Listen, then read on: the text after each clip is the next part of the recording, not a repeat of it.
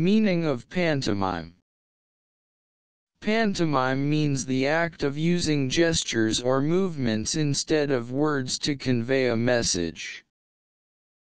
For example, after being given a word related to birds, the performer acted out a pantomime in which he ran around the room flapping his arms. I hope now you know the meaning of pantomime. Thanks for watching this video till the end. Please like and subscribe our channel.